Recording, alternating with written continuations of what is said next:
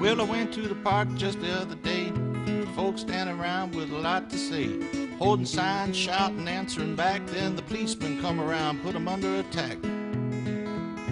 Cue the pepper spray. Swing the billy clubs. Get out the handcuffs. They've been looking for work and they couldn't find none. Looking every day from sun to sun. Wall Street folks closed the factories, ship them jobs from here overseas. Make more profits, screw the workers. How's your EBITDA?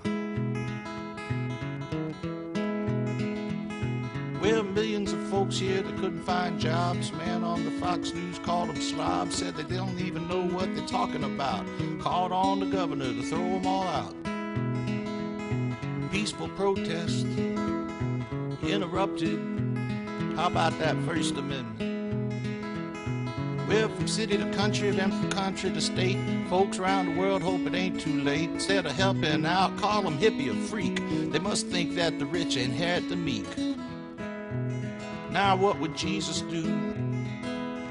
Join the protest or vote Republican?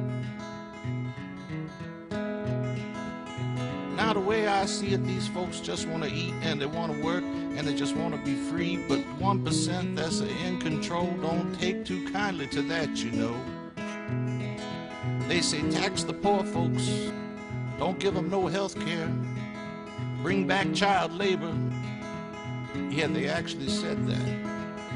Well, it ain't just here, this thing done spread. Folks around the world had enough, they said. The rich get richer so the rest of us can't. Now they want to bust up the union down at the plant. Oh no, it's the Tea Party, the John Birch Society, calling us a commies, calling us socialists, everything but American, fellow American. Now all I know something got to give when the middle class just can't afford to live. Losing their cars and losing their spouses, losing their dignity and losing their houses.